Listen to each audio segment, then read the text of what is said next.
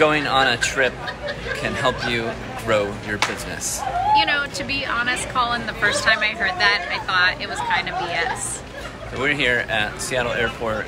We are heading to Japan from that gate in a few minutes. We're taking a week, week and a half Yeah, to do some snowboarding. it's going to be exciting. But it's been very hectic It leading up to the trip.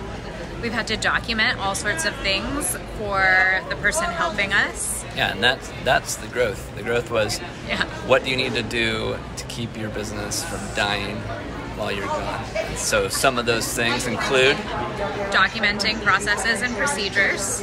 for the people that are helping us mm-hmm. when we're gone.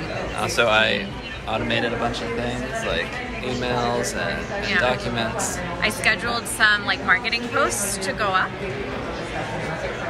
Yeah, I forgot. I even scheduled posts for next week. I did it like two months ago. Yeah. I feel so proud of myself.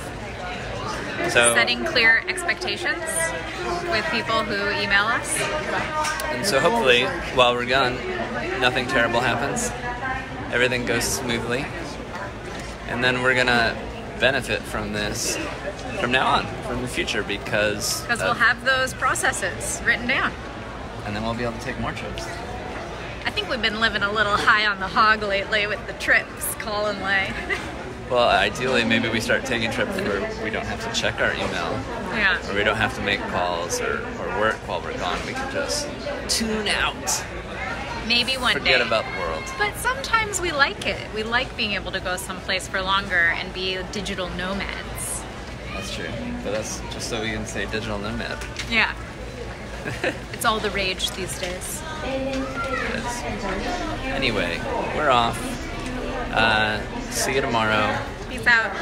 If you travel, if you like traveling, tell us where in the comments. We're going to Japan. Yeah. Finish.